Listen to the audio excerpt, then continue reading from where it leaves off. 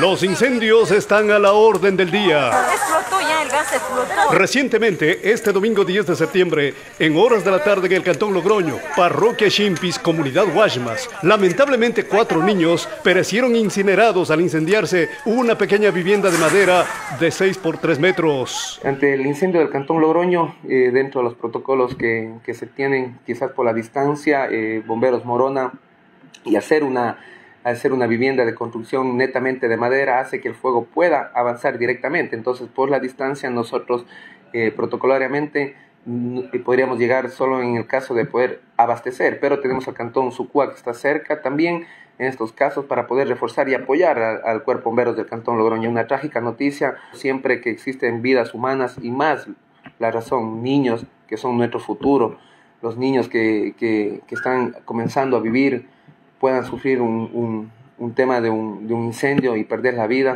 el dolor de los familiares, nuestra total solidaridad con cada uno de ellos. Se espera que las investigaciones permitan conocer las causas que produjeron este incendio con el saldo trágico de cuatro inocentes niños incinerados. Y esperamos que se puedan desarrollar y se puedan realizar las investigaciones pertinentes a través de los peritos eh, responsables de los mismos.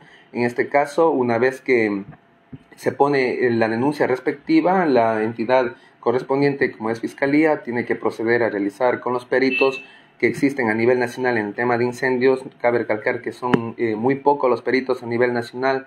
No, no contamos aquí nosotros, por ejemplo, en la provincia con, con peritos, eh, ya que eso se debe hacerlo entonces con la entidad que ya le compete netamente la investigación y se pueda esclarecer el, incendio del día, del día de ayer. Hay varias versiones. Nosotros como Cuerpo Bomberos del Cantón Morona nos manejamos a la misma que, que se conoce en la actualidad, que está en un proceso ya de investigación.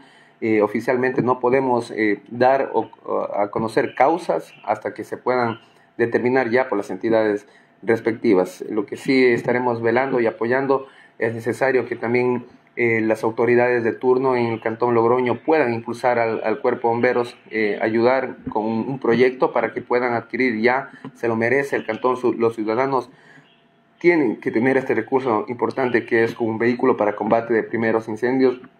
Recordemos que este es el instrumento y nuestra competencia principal. Invitamos y, y exhortamos a las autoridades del Cantón Logroño puedan contribuir, tienen la facultad para poder hacer. A propósito de incendios, 20 incendios forestales afectaron a Quito el último fin de semana. En la provincia de la Suay, 1.651 hectáreas se han incendiado en lo que va del año. Por eso, le preguntamos al comandante de los bomberos de Morona sobre los incendios forestales en nuestra localidad. Tenemos hasta la actualidad ocho incendios, tanto eh, estructurales como forestales.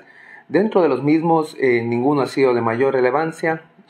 Hemos acudido absolutamente a cada uno de los llamados a través del despacho del EQ 911. El principal problema que se puede estar dando, llamémoslo así, y esas llamadas que han sido a incendios forestales, han sido causas que al llegar al lugar se pueden verificar y se puede visualizar que se trata de la de del proceso artesanal de, de, de, crear o hacer carbón. Hemos tenido varias llamadas a las riberas del río Pano en distintos sectores, entrando por Nueva Jerusalén, donde eh, mayormente se dan estas actividades de, de producción de carbón. Al llegar al, al, lugar se verifica que se está haciendo este procedimiento. Las personas que llaman al EQ 911 llaman obviamente porque pueden observar a lo lejos eh, una gran cantidad de humo y es esto lo que realmente llama la atención a las personas eh, cercanas para poder hacer el despacho del mismo. Nosotros eh, llegamos al lugar y cabe recalcar que para esta actividad eh, se debe hacer un, un, trabajo mancomunado, ya sea con las distintas instituciones que tienen el derecho por velar y controlar la misma actividad, es decir, desde el municipio, Ministerio de Ambiente y conjunto podemos actuar con cuerpo de bomberos. Para ello es importante que se ponga conocimiento. Nosotros todos los martes somos partícipes de la mesa de seguridad que se desarrolla en el EQ 911, donde hemos pedido directamente al Departamento de Prevención de Incendios del Cuerpo de Bomberos que ponga conocimiento a las distintas autoridades, ya que ahí están articuladas todas las instituciones que tienen la competencia para poder velar por el correcto funcionamiento en sí de las actividades que desarrollan en nuestro cantón.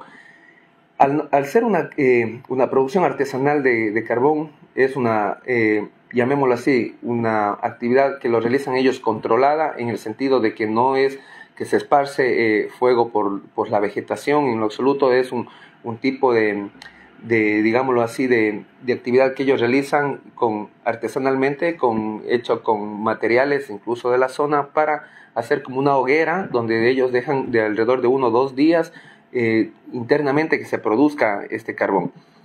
Hemos acudido, sí, a dos incendios forestales en los cuales eh, muchas de las veces la causa principal son estas quemas agrícolas que se dan. De costumbre de, de, nuestros, de nuestros ciudadanos, una vez que realizan la limpieza de, los, de sus terrenos, proceden eh, por lo general a la siguiente semana, cuando la vegetación ya está seca, a prender fuego para poder eh, quemar esta vegetación. Muchas de las veces han hecho que se pierda el control de la misma y ésta se pueda propagar, pero a tiempo ah, se ha podido controlar. Cabe recalcar que un factor principal para que un incendio forestal pueda avanzar es el viento, ya que el viento lleva producto del, de llamas y expande el, fuego en, la maleza que, está cercana seca. También muchas de las veces las personas tienen la costumbre de eh, fumigar los terrenos. Una vez que fumigan los terrenos, la maleza está cerca y proceden a prender fuego. Entonces, estas han sido las razones principales. Recordemos eh, años atrás que nosotros hemos tenido eh, a las riberas del río, por la entrada a la Gruta de la Virgen, Sevilla, Don Bosco, hemos tenido dos incendios en los distintos años, dentro de los cuales eh, mucha, mucha vegetación, eh, ciertos eh, fauna también se ve comprometida dentro de ella. Hemos podido observar cuando nosotros estamos tratando de controlar el incendio por el ingreso a la gruta. Cada año hemos tenido, eso se da en, en, esta época de, de, de, verano. En la época de verano es donde mayormente se, se produce se producen estos incendios forestales, ya sean por dos razones, eh, manifestamos, sea factor eh, humano y también factor eh, independientemente natural. Muchas de las personas dejan ciertos, ciertos materiales dentro de, de, las riberas del río, como botellas, como fogatas no totalmente apagadas y, y, practican tipo de distintas actividades con fuego. Entonces esto hace que se juegue un mayor riesgo al tener una vegetación seca. Hemos sido testigos del trabajo que se ha venido realizando para también eh, tratar de culturizar y, poder de una u otra forma eh, llegar a nuestros ciudadanos de tomar el debido control, la vida responsabilidad. Recordemos que estamos jugando y exponiendo incluso hasta vidas humanas, más allá de que estamos contaminando y estamos eh, acabando con nuestro ambiente, nuestra fauna. Es importante que tomemos ese, esa medida, esa medida de precaución, esa medida de cultura y cuidado por, nuestra, por nuestro cantón, por nuestra eh, integridad incluso personal. Hagamos caso a estas recomendaciones para evitar incendios en nuestras viviendas y en nuestros alrededores. Estar pendientes del tema de la conexión de nuestra, del, del cilindro de gas, la manguera hacia la cocina es decir, que siempre cuente con una válvula correcta, independientemente si, si, es una cocina industrial o una cocina de uso solo doméstico, digámoslo así. Es importante que se pueda tener el, cilindro de gas adecuado, que se pueda tener la válvula correcta, que la manguera esté en buenas condiciones. Recordemos que con el tiempo y el clima estas mangueras se llegan a frizar, entonces es importante que, que se pueda hacer una revisión periódica como tema de eh, seguridad internamente. Igualmente, siempre que salgamos de casa, tratemos de no dejar eh, artefactos conectados, tratemos de evitar en la posibilidad el uso de regletas, que se le llama así a los tomacorrientes de, que tienen varias, varias conexiones. Eh, tratemos de evitar que el sobrecargar el en los mismos, tratemos de que no quede encendido. También, de igual manera, siempre que podamos percibir, y eso es, y, eso es algo característico, el, el gas tiene el, gas tiene un olor característico y está hecho para ello mismo, para que nosotros podamos, eh, podamos eh, para que nosotros mismos podamos, como, como, como parte del lugar donde habitamos, distinguir que hay una fuga de gas. Entonces es importante que ahí en ese momento no se encienda nada, que se proceda a abrir con calma todas las ventanas y puertas de la, del lugar para que pueda el gas eh, salir, del, salir del domicilio y no podamos tener, eh, no podamos presentar algún riesgo de, las personas que están en sí mismo. Igualmente las instalaciones eléctricas, eh, varias instalaciones eléctricas a veces no cumplen o no o carecen de las debida, de, la vida manejo y conexión. Es, muchas las veces hemos observado conexiones de, que están ya deterioradas, cables que no son realmente los propicios para el tema de la energía. Yo sé que a veces muchas personas nos dicen, pero la realidad es distinta y el tema eh, de comprar un, valor de un cable mayor que el otro que es más económico, pero recordemos que el valor de la vida en nuestra integridad no tiene precio, realmente el tema de la seguridad, y no es solo una persona, sino todo, engloba a todas las personas que están dentro de las mismas, entonces eh, invitamos a, igualmente a los ciudadanos tener cuidado con los niños, eh, no tener cerca productos inflamables y los productos que nosotros hacemos de limpieza o inflamables que tengan, tengan tener un lugar alejado, un lugar donde no tenga la accesibilidad a los niños. Igualmente también culturizar y educar a nuestros niños de no jugar con fuego.